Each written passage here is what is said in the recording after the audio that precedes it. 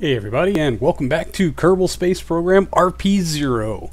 Uh, it, has been a little while, and I, I apologize, but I, I am uh, all done moving house for the most part. All the literal heavy lifting is done. We're just getting uh, a little settled in, so I actually have time to record again, and that makes me super happy.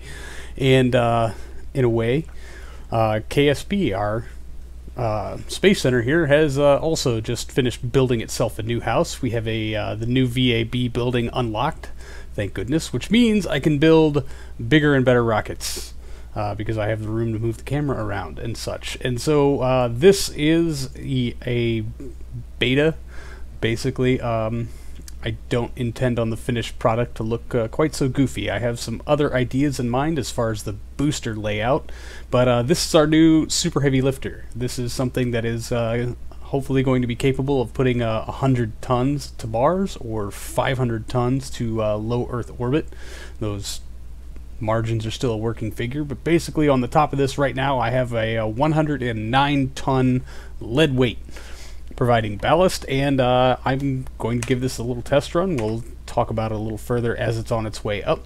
So uh, our launch stage currently is uh, two boosters with a total of 34 E1 advanced engines, and then our core stage is uh, nine RS-25 DEs, and uh, combined they're going to give us a lift uh, liftoff thrust to weight ratio of 1.22, which I think is fairly respectable for something this absolutely massive. But the real test is is it going to work?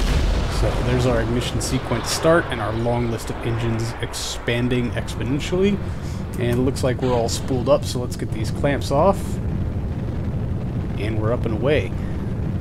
Slowly at first, but uh, I've had worse thrust to weight ratios. Also, those RS-25s do have a considerably longer spool up time than the E1As, accounting for a little bit of that. But uh, now that we're up and moving, uh, I did have build footage of this. However, it was kind of jumbled and scattered all over the place since I built some of it in the old VAB. Uh, I basically had to build it in two sections and then combine them as sub-assemblies. So I built the upper transfer stage and then I built the launch stage, which took uh, way more time than it should, and many configurations of trying to play with different engines, but uh, in at the end, I fall back on my good, reliable duo of a Hydrolox core and Kerolox boosters, because it just uh, it tends to work.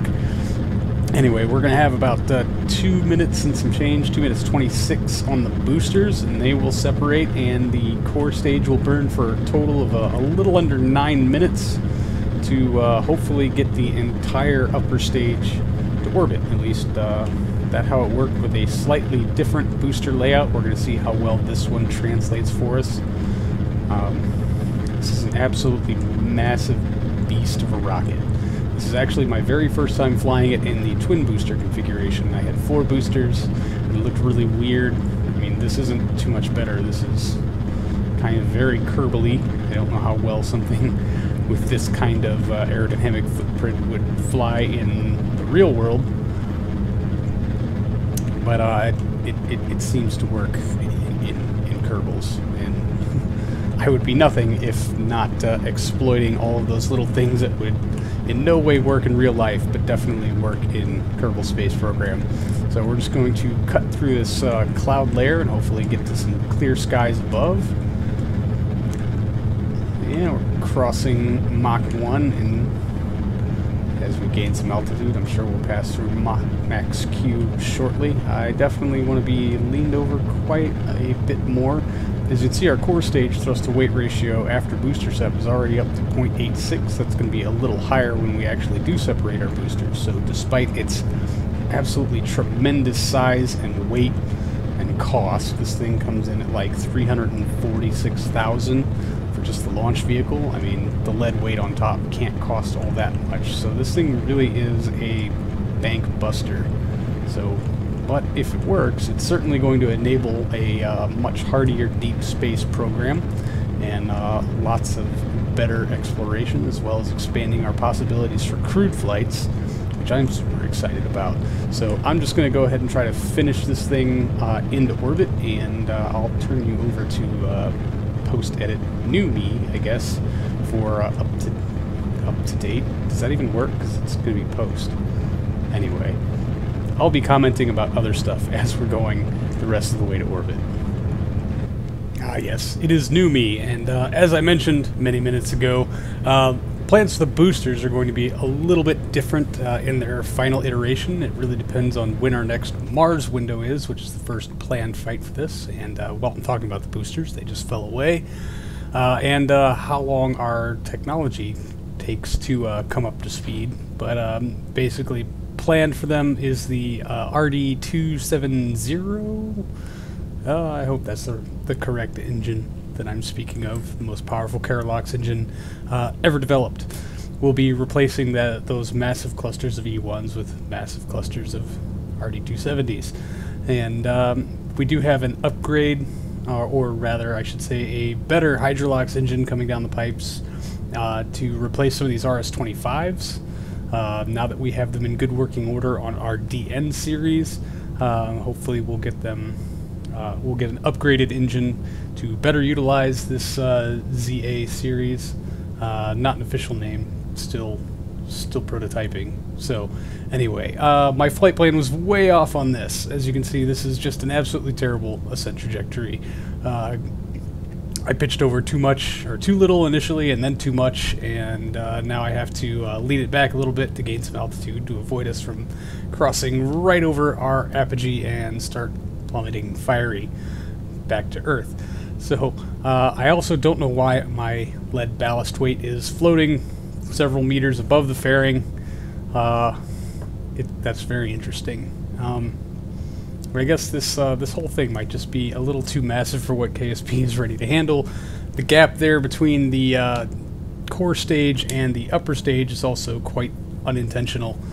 Um, that's just uh, a glitch I saw a lot on the DN series, and there's stage set, and retro engines firing, and the twin HG3 vacuum engines fire up uh, pretty flawlessly. I'm really hoping to see uh, very solid, consistent performance from those engines as well. And we'll come out of our sped up footage, and we are in orbit with something like um, 5,700 meters per second and some change.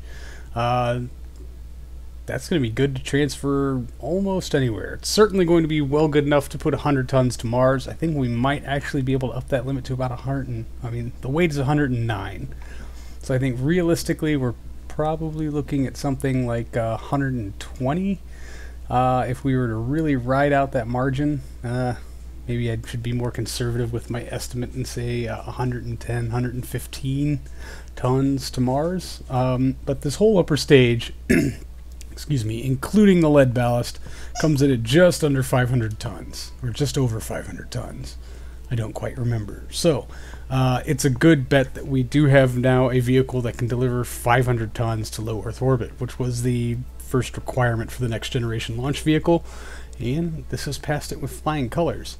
Uh, I'm I'm very excited about this, and other than really wanting to do something completely different with the boosters to avoid it just looking so I guess awkward is the word I'm looking for.